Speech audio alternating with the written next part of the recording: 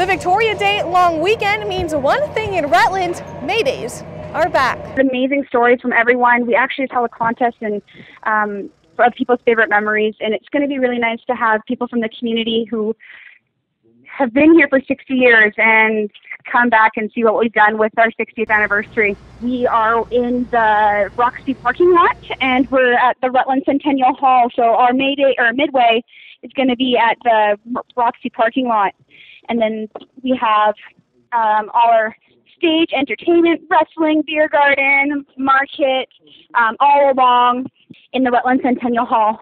Saturday's definitely way more packed because we have the parade, the 60th annual parade going down Rutland Road.